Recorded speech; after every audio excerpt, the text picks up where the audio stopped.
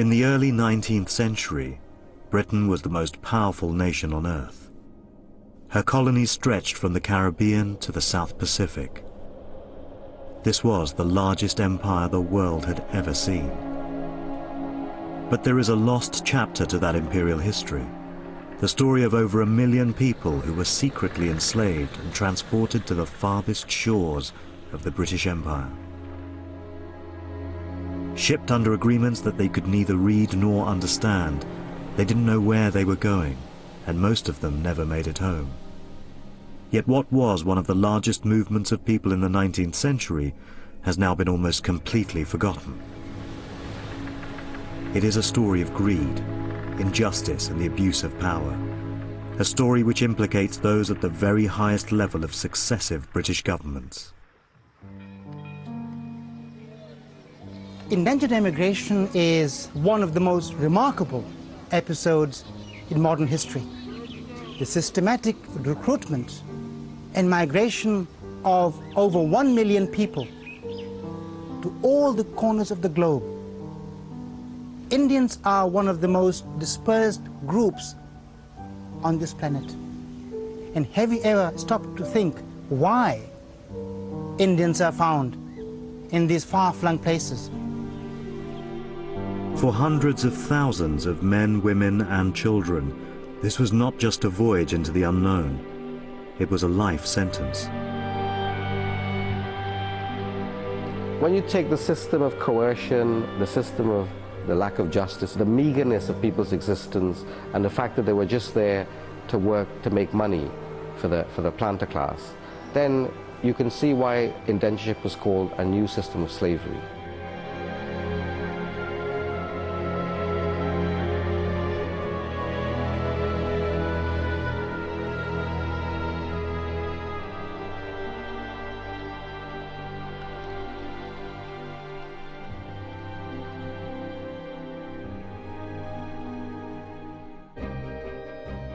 By the 1830s, Britain's empire was growing at a phenomenal rate.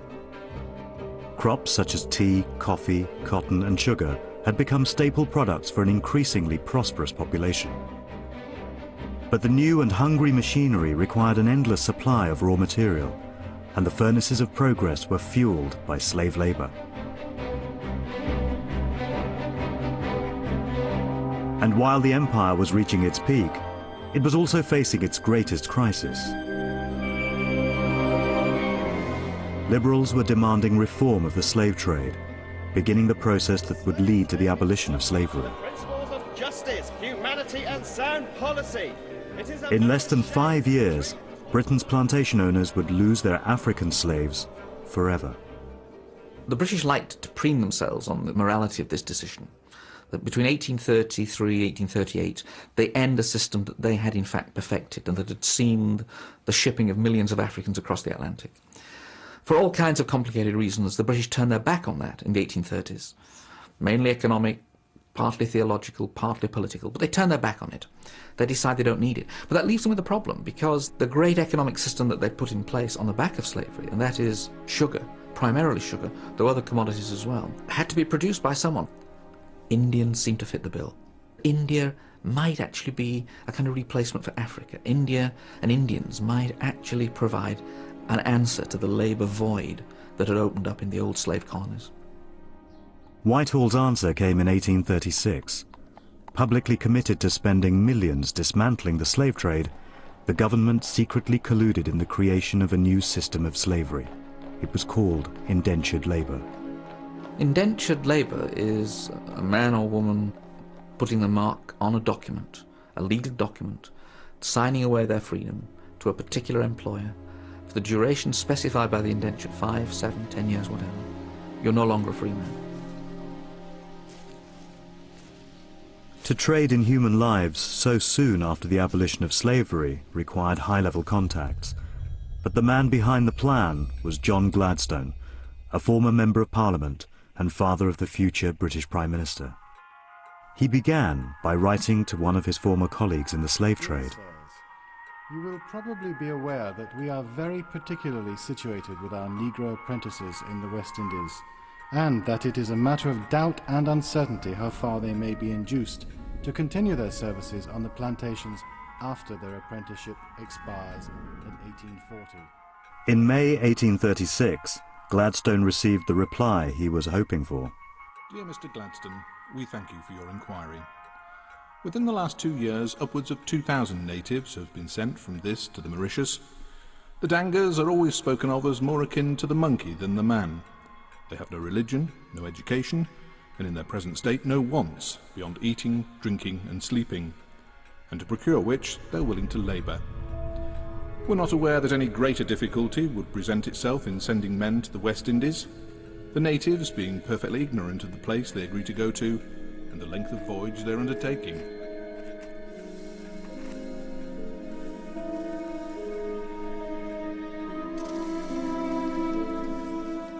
Gladstone was delighted, and a deal was struck. The first ships left the port of Calcutta in April 1838, carrying a human cargo of some 400 Indians.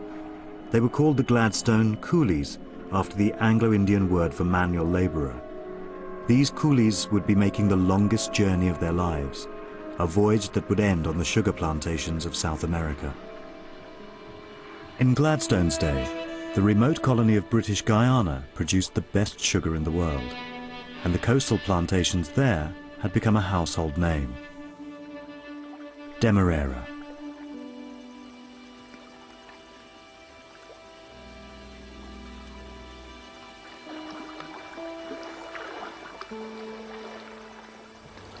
My name is David Dabydeen. Even though the name means very little to me, I know very little about the name.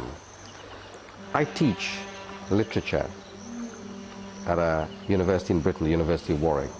And I've come to Guyana to look for the origins of my great-great-grandfather, who came from India in the 19th century, one of hundreds of thousands of people who went overseas to cut cane in the plantations He's been totally lost in history. And I just want to discover something about this bareback, barefooted coolie who stepped off the planks, stepped off the Englishman's boat, and ended up on these shores.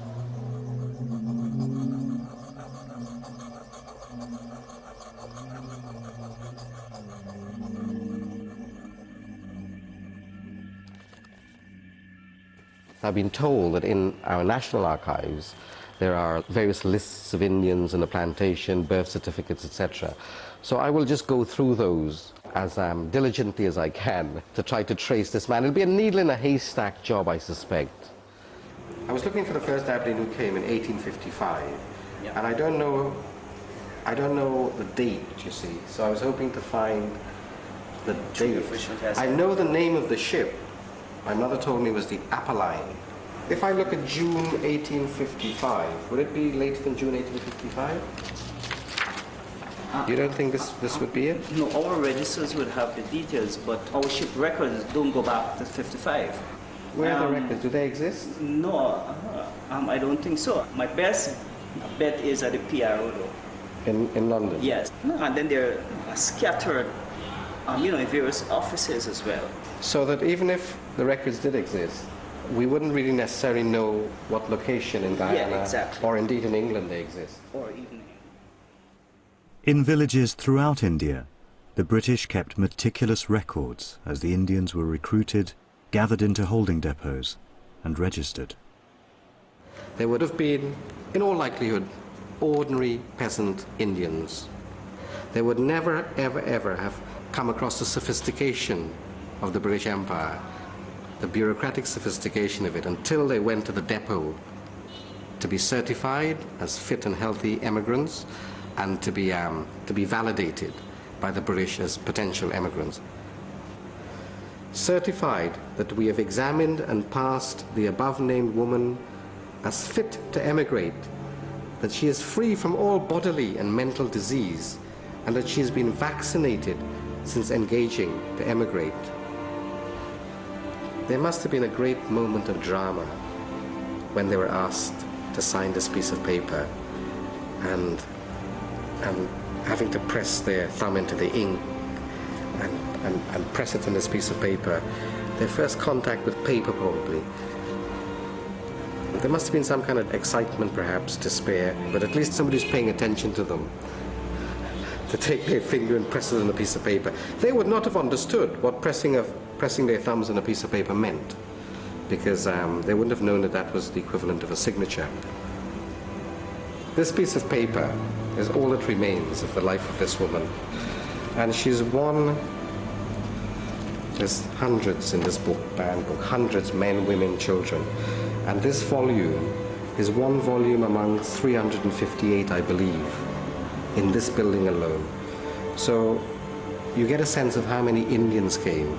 We know that about 239,000 people came from India to Guyana alone, never mind to Jamaica, to Barbados, the rest of the West Indies.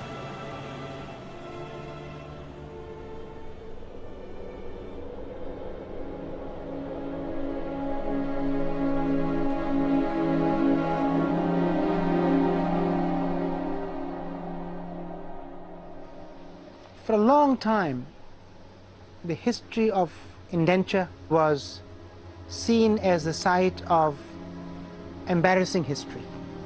People were reluctant to confront the truth of their past. Historian Brij Lal is also investigating his family's past. My grandfather was an indentured laborer. He came from the district of Bahraich. He was in his early 20s. And he told me that, you know, he was roaming around in the village. And one day a man took him aside and said, would you like to earn some money? And my grandfather, a young man without employment, said yes. And he took him to a, to a depot. And there my grandfather encountered other men and some women who were also recruited by the same Arkati recruiter. And there he learned about going overseas. And you'd become a wealthy man. From this tiny depot in the village, he and, and other people who had been recruited were taken to Lucknow. And from there, they're taken to a larger depot in a district called Faizabad. And from there, he, he went to um, Calcutta.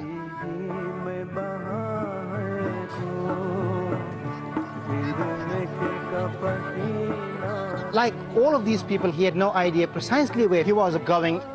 Uh, it was a tapu, an island, but that was about all that he knew. So he said, all right, I'll, I'll, I'll go to this tapu, and, and, it's not too far away, and I'll come back after, after five years or ten years. He didn't intend to leave his homeland for good.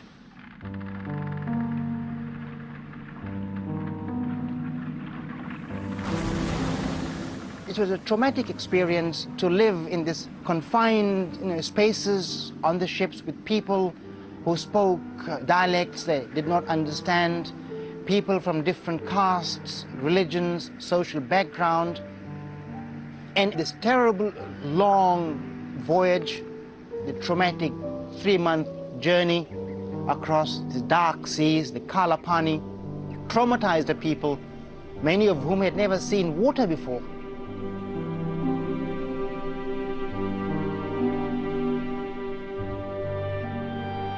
Mortality aboard the coolie ships was appalling. During the voyage of one, the Salsette, the captain's log recorded that over a third of the Indians died en route. March 26th, a little orphan girl, four years of age, died in a state of great emancipation. Three coolies died. A man, a fine girl, 18, who attended the little orphan boy. A little boy of 12, 27th, a fine little baby has died. This mortality is dreadful and without any means of being checked. A great reformation is required in the system of coolie emigration. May 2nd, one of the twins.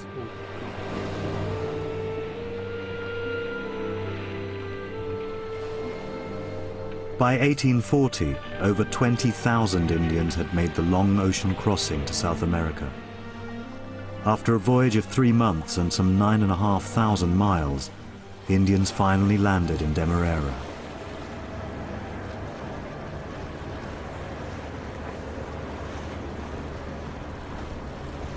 This is where they arrived.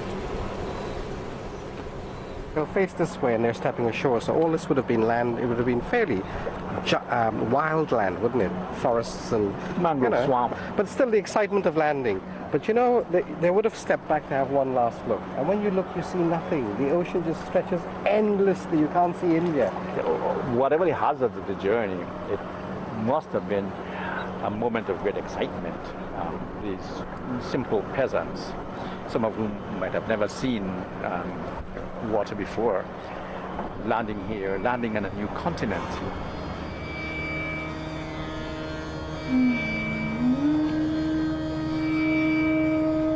Curious spectators would have gathered to see these coolies, the first Indian coolies from uh, the subcontinent.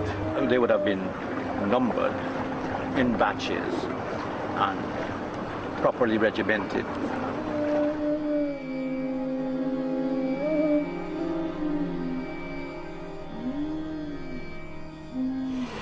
They were deloused, they were made presentable for the inspection of the planters.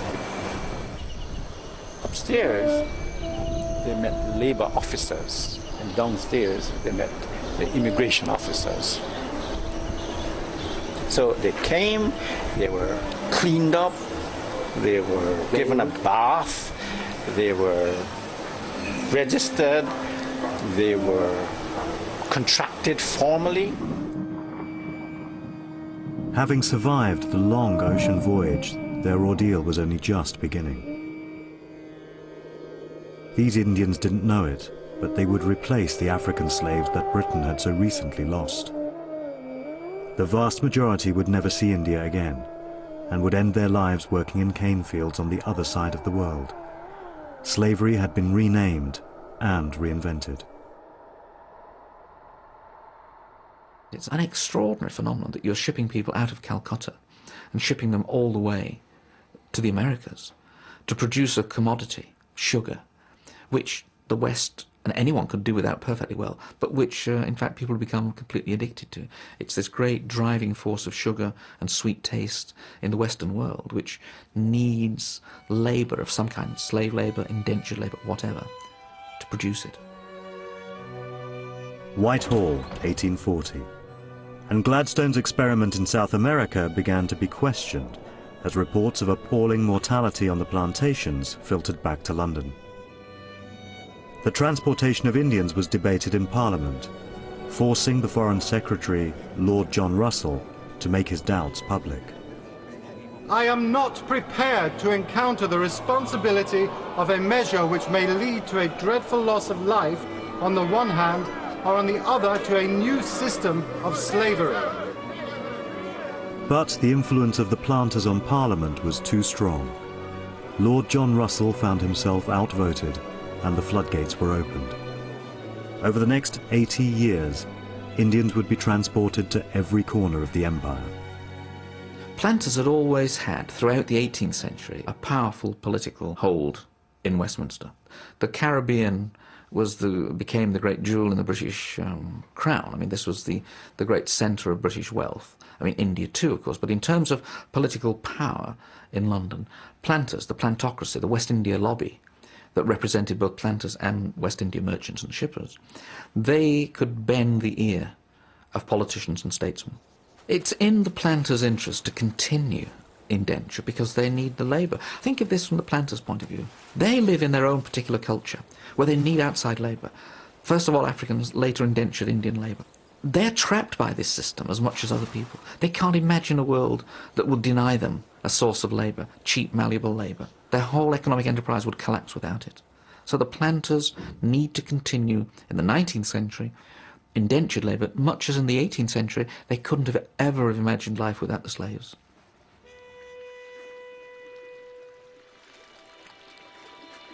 India was now the empire's main source of cheap, expendable labour, and sugar production had spread to every corner of the globe. In 1874, the Fiji Islands became a crown colony. The planters turned to India to supply the manpower, and soon ships loaded with Indians began the long voyage to the South Pacific.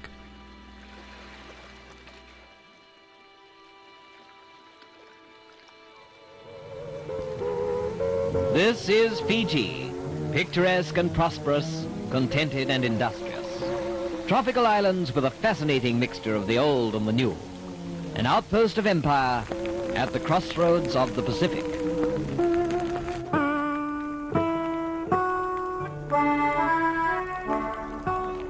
When people think of Fiji, I suppose they think of a tropical paradise.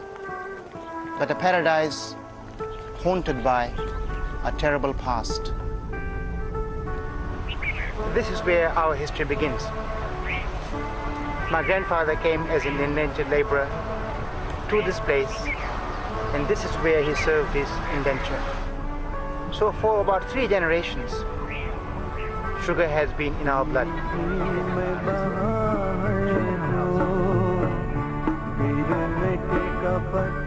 Brij Lal is visiting the family home in Fiji.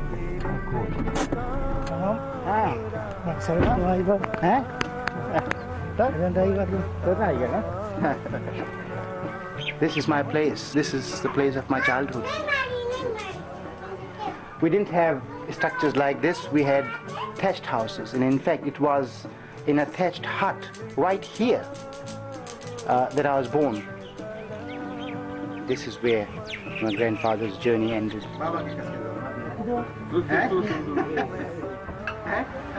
I remember him telling me that the most difficult thing for him in the early, early days was getting used to living in congested lines and having as his companions people from different parts of India, different social backgrounds, different customs, different rituals and ceremonies, and sometimes even speaking different dialects. The coolies lived in tin shacks. They were called lines and built in long rows beside the plantation. A single room, 10 feet by 12 feet, housed three single men or one man and his entire family. Diseases including cholera, malaria and typhoid regularly wiped out hundreds of Indians at a time. Bridge is going to meet one of a handful of survivors. Ram Ram. Ram Ram आप बैठो बैठो बाबा। कैसे तबीयत आपके? मेरी तबीयत बहुत अच्छा नहीं रही है। क्या हुआ? अरे काफ़ी उम्र हो गया। कितना उम्र है आपके? अरे सौ बरस से ऊपर है। सौ बरस ऊपर हाँ इंडिया के पैदाइश है। अच्छा हाँ, दिन में काम करो संध्या का अपन नहाओ धो बनाओ खाओ सूतो। तीन बजे रात से उठो उठो उठो वो कैस्टेबल में घर जे वाला आदमी। तो उठो सवेर हो जाए लाना फ़ील्ड में जाए, फिर काम करके बनाओ, खाओ। तो उठिए आदमी, चटपट चटपट बनावे खाए। उतना सवेरे भूख कहाँ लगे। रोटी बाँध ले ले जाए वो खाए। खेत में।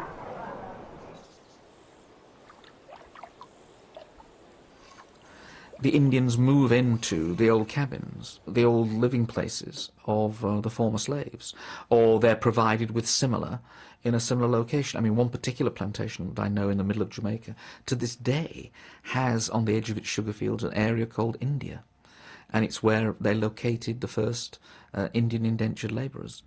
Conditions worldwide were as poor as they had been in the slave days. In Guyana, David Dabydeen has managed to trace the very last surviving witness. I'm going to see somebody who I've been told was born into that condition of servitude, was born into indentureship. An elderly lady, I think she's now in her 90s. Huh? All right. How are you? Yes, a picnic coming, coming. You were born in India? Me Bana India and grow Guyana. Three year old me company. Three. Uh-huh. Three year old. Me not been done three year. But your, your father worked in uh, cutting cane? Yes, my father me na kot cane, Guyana. Me and I'll be na bongku di puno prel. Doing what? Working in cane field? Cane field here na, we roll the trash, I put them on the bank. You roll, you roll the trash, I put them on the bank, and you take a hone, you dig a dot, you leblam. Di mana take a man, you wrap them, and you go load the pond.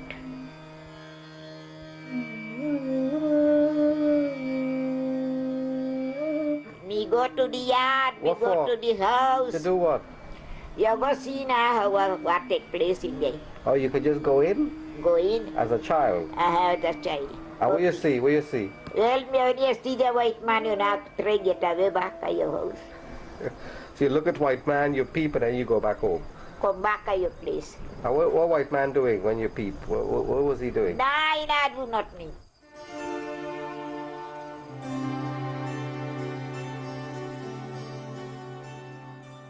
As Indian men, women and children toiled in the fields, their colonial masters lived in the very height of luxury.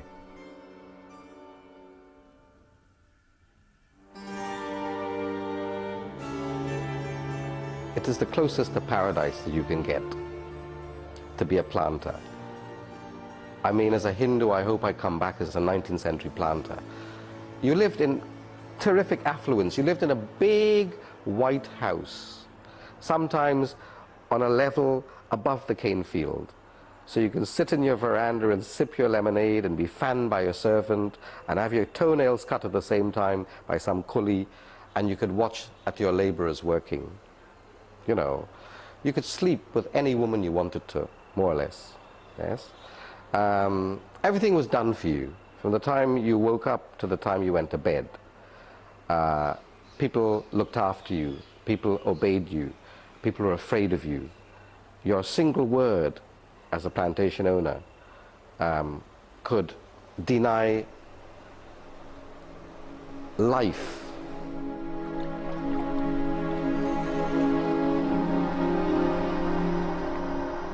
The men that had once cracked the whip over the slave gangs heading for the slave fields now do much the same over Indian indentured labour, heading to do precisely the same work in the same fields, at the same regime, producing the same commodities for the same markets.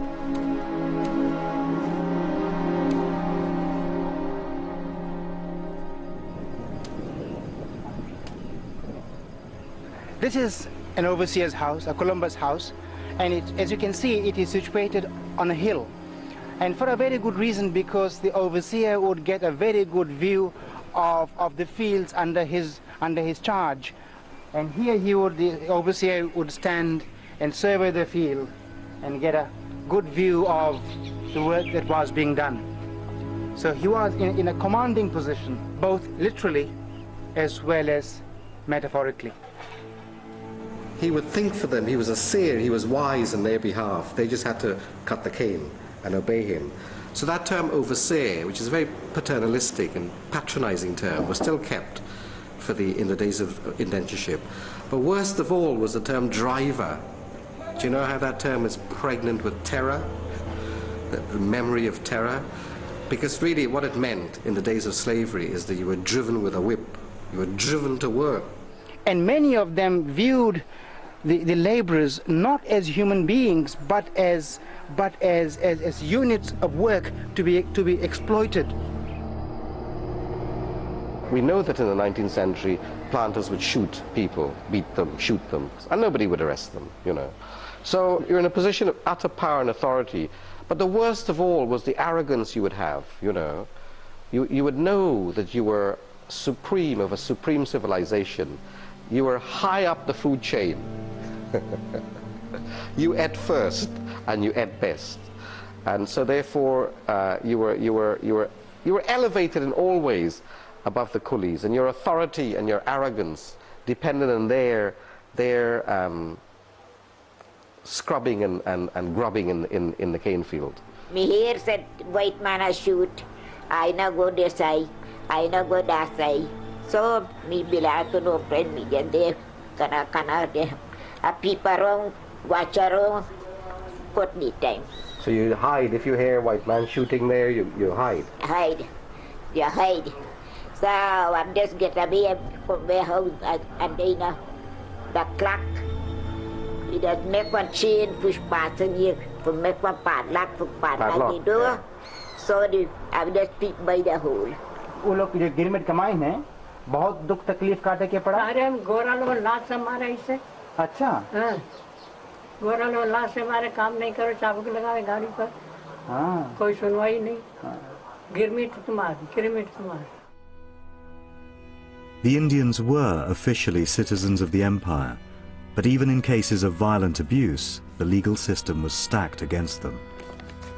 In practice, it was extremely difficult for an indentured laborer to succeed in a case against his or her employer, partly because the courthouses were far away and the regulations provided that you could not leave your plantations without the permission of the manager. You could be punished. You could be fined.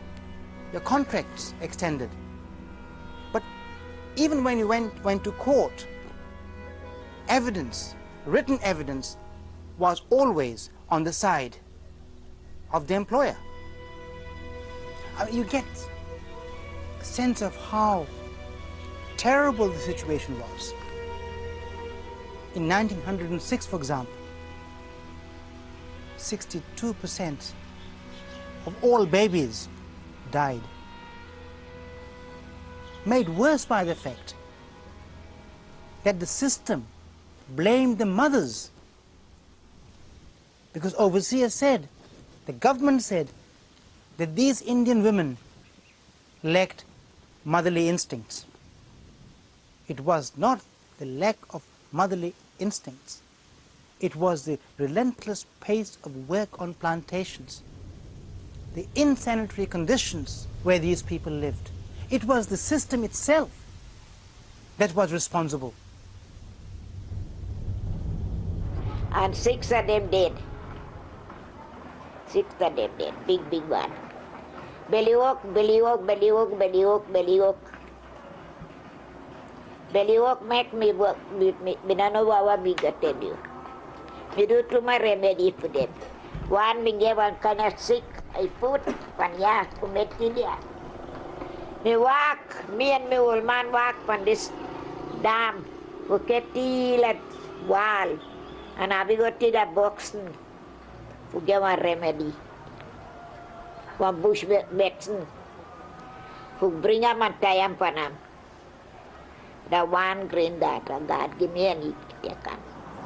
So everybody dead out, and you left. Me left, me don't know what me go face it. Me don't know what me go pass through it. So me I told God, me beg God night and day. So God, why you send me in this world? Me don't know mother, me don't know father. Me grow with them very well, but me not know goodness for them. And you take them for me. And now me don't know what me they go turn to be. Too much thing me pass.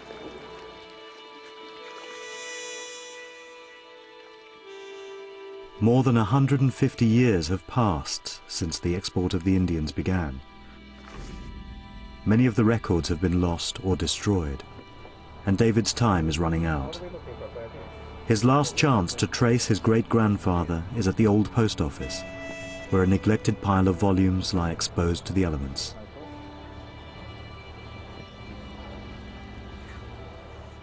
I believe that people don't want to remember the past. It's a past of shame. It's not something they want to preserve in a way that in England you would preserve castles and Arthurian legends.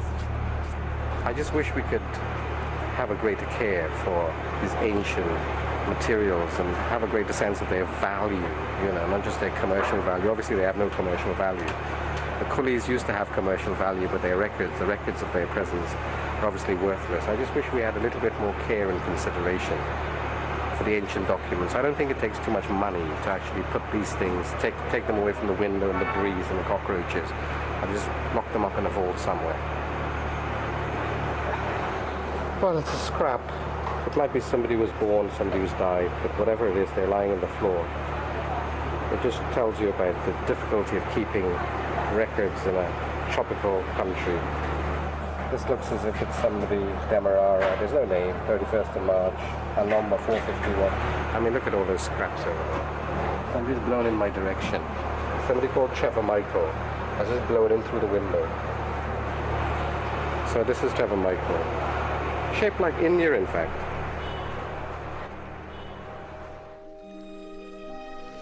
Under the system of indenture, Indians had been transported to every part of the empire. South America, Mauritius, Ceylon, Burma, Malaya, and the South Pacific. But the system was about to face its greatest challenge as a new part of the world began importing Indians by the shipload. Africa, the dark continent. Years ago, fierce wars were waged, and the prisoners that were taken were used as slaves. After the coming of the white men, slavery was abolished, and slave trails were replaced by iron rails. The Indian coolies were no longer confined to the sugar plantations. In South Africa, the growing railway network required cheap manual labor to continue blazing its trail across the African plains. The train, crawling across the vast African countryside, looks like a tiny insect. By the dawn of the 20th century, over 100,000 Indians were working for the British in Africa on the railways and in the cane fields and the mines. But the status of Indians within the empire was about to change. In 1893, a young Indian lawyer arrived in Durban and set up his first legal practice. Over the next 20 years, this young man would change drastically from a middle-class lawyer to an extraordinary political leader. His name was Gandhi. Gandhi got to know about indentured laborers very soon after arriving here. His first major contact with an indentured worker was in 1894. The man was beaten by his employer and had his front two teeth smashed and uh, the man was in terrible distress and came into Gandhi's legal offices. This encounter would mark a turning point in the young lawyer's life. Gandhi began his campaign against indentured labor by exposing the plight of the Indians at public meetings. But he quickly realized that the future lay in unifying the isolated Indian community. The result was the first Indian newspaper in Africa. Indian Opinion begins to chronicle the conditions that indentured workers lived under and the poor housing conditions, the poor food that they had, the treatment by employers. It, it is a rich chronicle of grievances. Gandhi's newspaper exposed the realities of indentured labor worldwide, but the written word was not his only weapon. It was meant that this paper would reach British India, it would reach authorities in England, that it changed to become a paper of mobilizing people.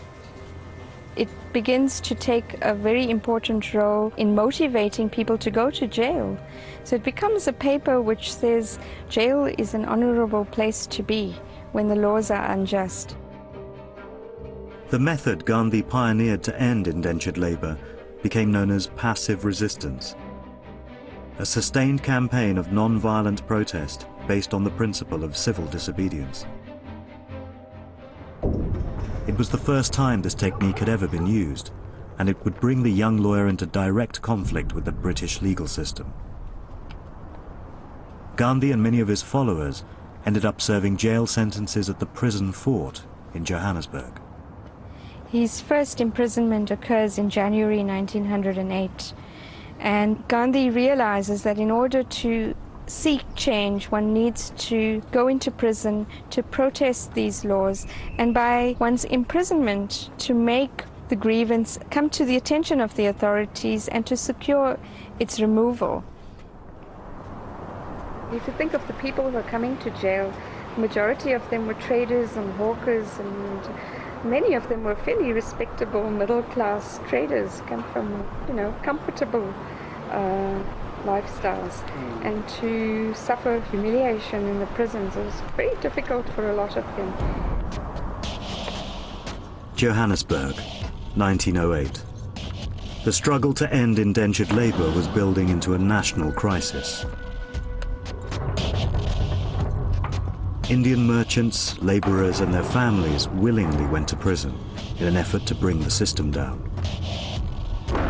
Within months, Gandhi and his followers had filled the jails of South Africa to capacity. Over the next five years, Gandhi would be imprisoned on four separate occasions.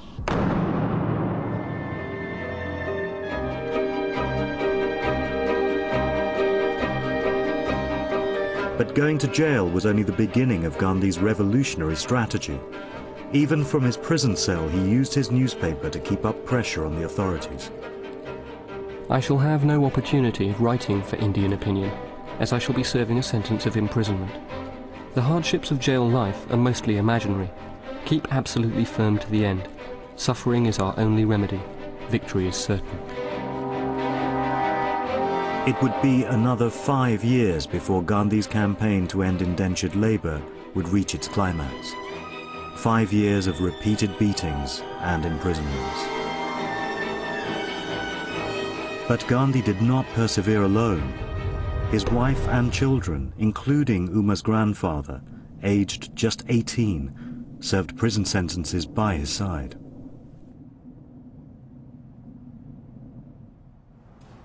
So they said second cell? That one. That, that one.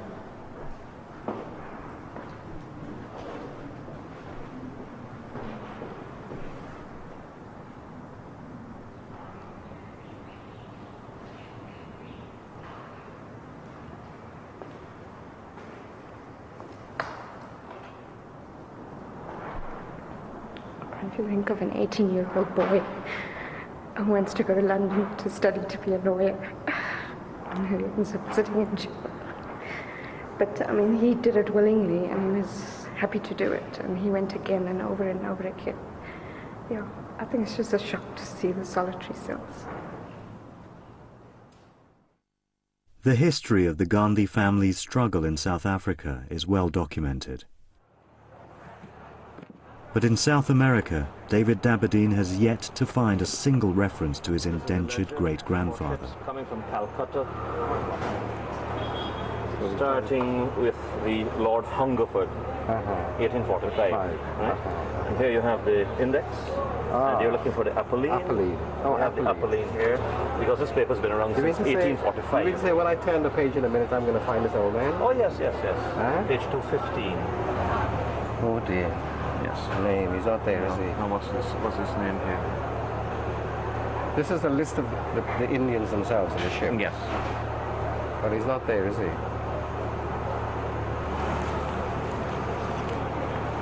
Think we got him? Yep.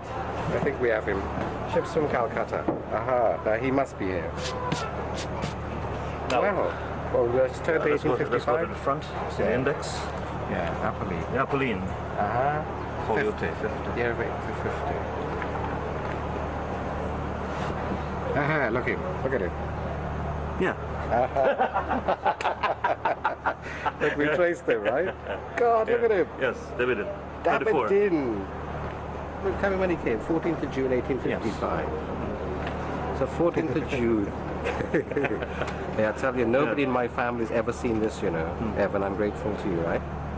His father's name Father's here is name. P U R R O W T Y. T Y. Porot Porwati. How was that? okay, male, Male. age that? 27. Oh, he was 27 when he Yes. came. Well, he was 27 Yes, he was 27.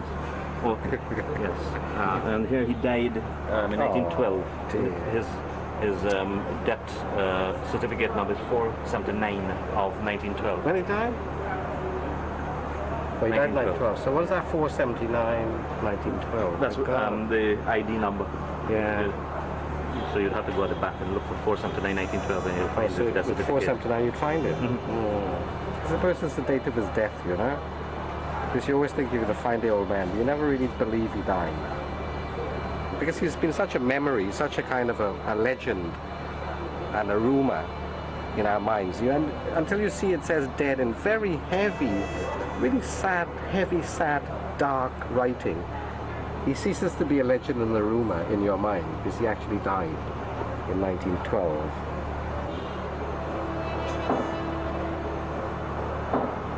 I never expected, this came as a shock to me, I never expected that I would also see his death. So that this has been very shocking, you know. And the bluntness of it, after all those years of coolie work, It just ends dead. 479.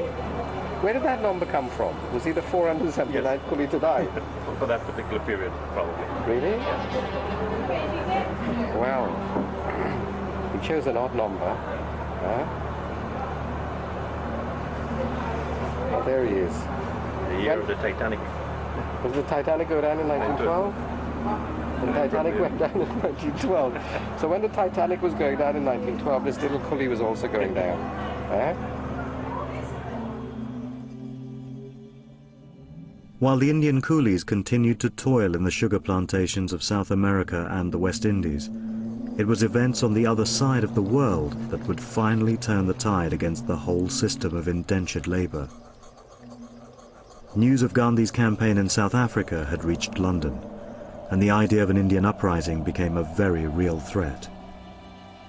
The Indian problem was the obsession of one man, General Smuts, the Prime Minister of Natal.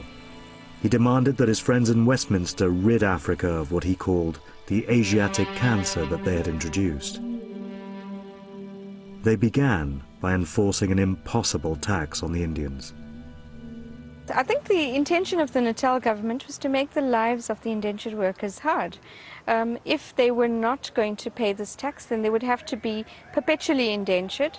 If they were going to be free, um, they were never able to earn substantial amounts of money.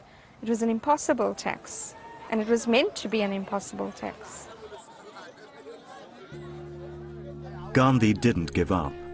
He continued to hold protest meetings and invited Indian political leaders to come to South Africa and see how badly the empire treated its Indian citizens. In November 1913, Gandhi launched his biggest campaign to date. He began by addressing Natal's coal miners, persuading the indentured workers to come out in protest against the government. Soon over 15,000 indentured workers from the nearby sugar estates also joined the strike. 20,000 people responded to Gandhi's call. These are the only surviving photographs of that protest in 1913 and show Gandhi himself at the moment of his arrest. They also capture the birth of civil disobedience. Many of the protesters were brutally beaten and imprisoned by British officers, and Gandhi was sentenced to nine months in prison. Here was an Indian rising to prominence with a particular political message, directed ultimately, as we all know, at India itself, but speaking to the condition of Indians worldwide. And the condition worldwide was basically indentured labour. And it's at that point, and the kind of upheavals which followed Gandhi's message, that leads imperial figures to speak out against indentured labour itself. Even from within the establishment, unlikely voices were moved to announce that indenture could not be allowed to continue. One was Lord Hardinge, the Viceroy of India. Indians in South Africa have violated these laws with full knowledge of the penalties involved. In all this, they have the sympathies of India, deep and burning, and not only of India, but of those who, like myself, have feelings of sympathy for the people of this country.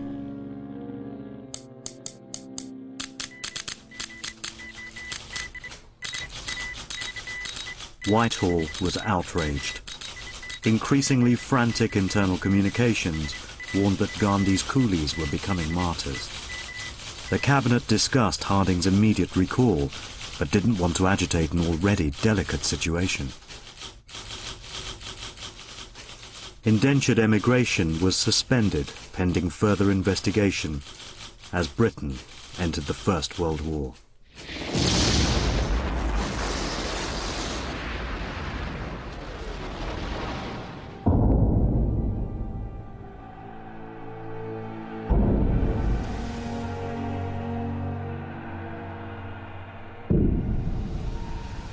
1914 could say that this system makes any sense in the world of the 20th century?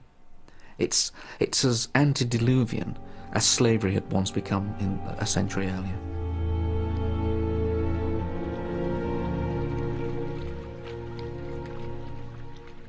While Britain turned its attention to other more pressing matters, the man who had arrived in South Africa as a young middle-class lawyer was preparing to leave a completely changed man. We were all foolish.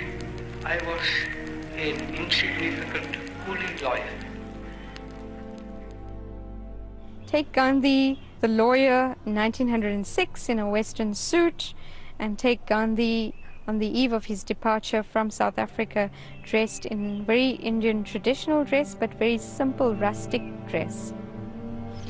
In his dress in 1914, when he's leaving, he's signaling his identification with an indentured working class, that this is the identity that he wishes to be associated with. This is a Gandhi who has managed to find a mass following. And the nutshell of what is Gandhiism is very much in shape in 1914. And it's in India that he then begins to apply whatever he has learned in South Africa to a bigger project, the freedom of India.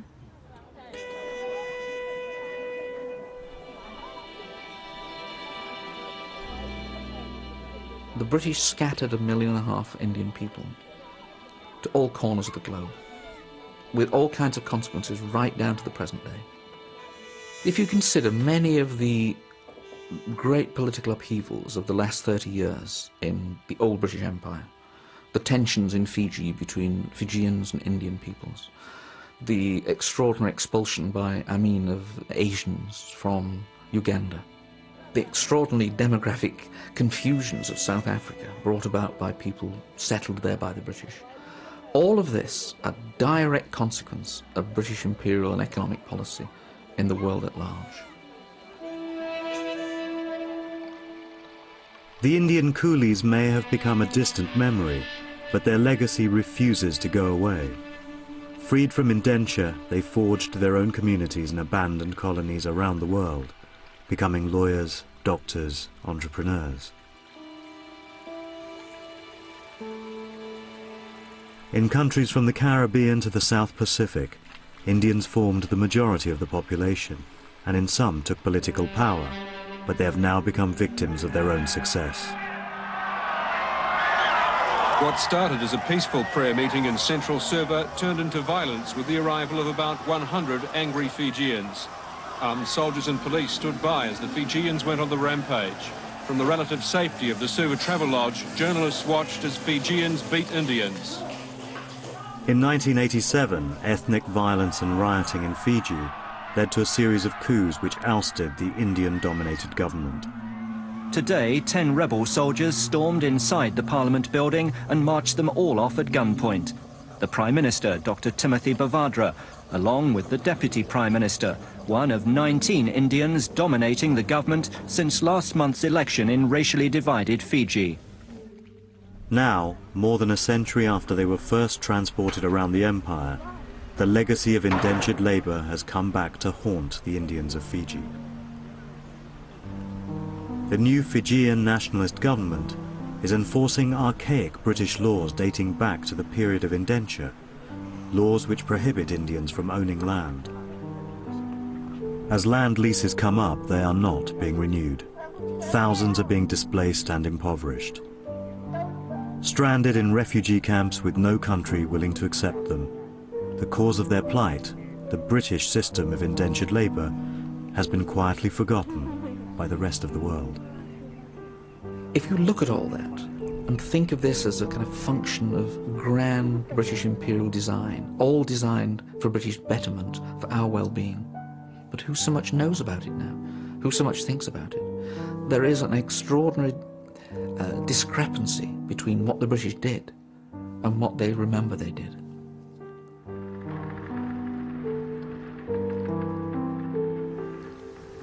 Hope to ensure that the hardship that they have endured, the difficulties that they have encountered in the long and hard journey from India to the plantations and from plantations to now is remembered by posterity. Okay, boys and girls, I will read to you one poem which I learned in class 3. रात अंधेरी हवा सनसनी पाल फड़फड़ाते थे ऊपर Syria आगे बढ़ा चला था Fiji सागर की छाती पर का एक का हुआ धड़ाका सीरिया टकरा चट्टानों से। एक तरफ़ वह सीधे डूबा, मची कोलाहल सब लोगों में। डूब मरे मल्लाह यात्री, समा गए। Syria was the worst disaster in the history of Indian indentured immigration to Fiji 57 people died. At Nasilai. The image of wreck resonates with the experience of my people today. More than 120 years later, they feel that they're shipwrecked in this place.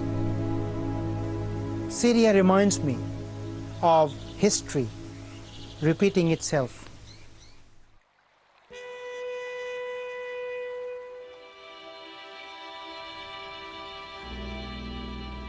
I've devoted most of my adult life trying to understand the experience of Indian people in Fiji. It's very emotional because I'm not talking about a group of people in the abstract. I'm talking about people from whom I am descended. I find it haunting. The ghosts of the past haunting the place, reminding us of the sacrifices and the difficulties our people faced.